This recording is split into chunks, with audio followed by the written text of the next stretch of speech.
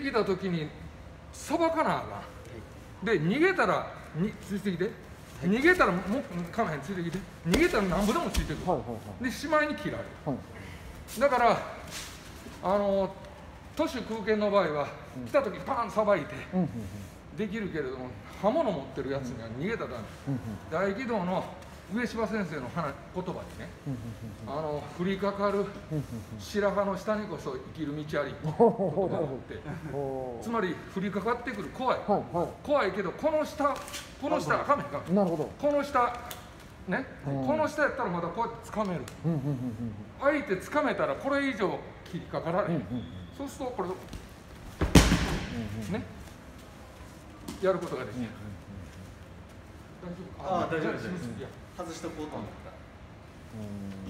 た。だから刃物持ってる人から距離を取るっていうのは非常に危ない、はいうん、もう完全に逃げ切れる状態やったらええけど距離を取ってこの状態からこの状態から逃げようってこう向いたら多分ブスッといかれる。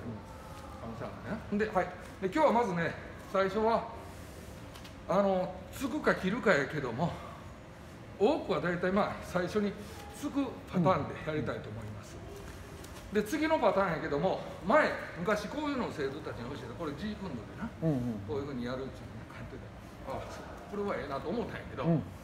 方針の場合はちょっと、ま、こういう構えおーなのでなんでか言ったら「ちょ、ま、待て待て。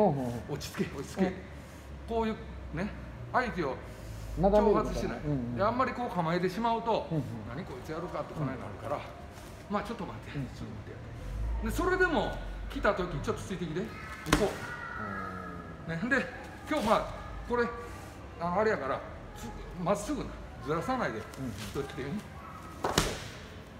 でこの時にこの時にはい。とやったらええねんけど、うんうんうん。これはあまりよくない。なんでか。こう来て倒して持ってりゃ、足スパーン切られるん。だよあなので、はい、ちょっと来て、はい、こう、で、このままこう。で、手をこう、できたらこう。で、このまま、ここの肘をスッと動かすと、これはもう握られへんので、ね。はい、いいかな。で、問題は、逃げないで、この空手でいう回し受けってあるこれと一緒ちょっと見てはい。今の失敗したけど来た時にはい。あかめへんまっすぐつい。てきてく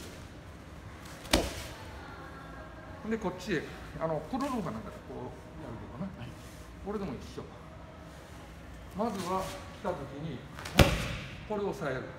でそのまま滑らしておく。OK、でこれを相手がねこうなってとっとっとと前へ来るようやったらあこの時もねガッと掴んだらあかんねん。ガッと掴んだ相手はこの力で読むから軽く当てるぐらい。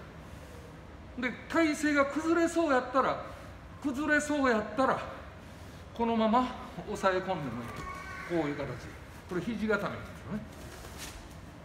このまま肘を当てて。あそうそうそう。でこの手をできたらこう。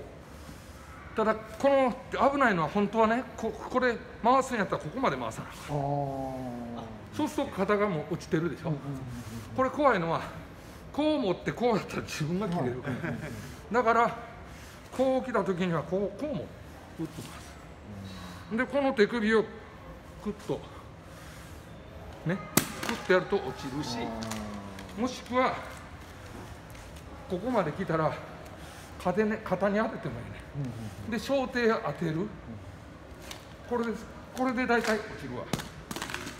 では多分歯が向こうに向いてるから当たったってこと？でこれをこう向けてそのまま一本ででこう。わかる？これを首のところに当てて膝をこっち来てねこう持って膝のところに当ててでこれで締める。いくやろ。はい。まあこの段階で体重で落とせへんかったらこの段階で取り上げて。でとりあえず今やったことをちょっとやってもらおうかなとはい。思います。はい。で、えー最初はちょっと来てねこう。ま真正面についてこう。おいちょちょっと待ってくれ言うとってついてきたら。ね？で今度こっからこっからこう自分の体位を変えた時にここ手首をとにかくどんな形でもいいから手首をこう曲げる。ダウンは手首柔らかいから落とせへん。あんまり落とせへんけど。大概のやつだったらグッと曲げたらあ落ちるから。ほんでこれをさっき言ったみたいに力で落とすんでなくって自分の脇を締めてほんでそーっと。で首のとこ肩のとこへ足を持ってきて膝で押さえる。で手はねじりながら膝の上ここでロックする。なもん簡単にというか OK はい。はい、ほんだらね、えー、っと、えー、っと、小林とほんだら柴田さんと、はい。で、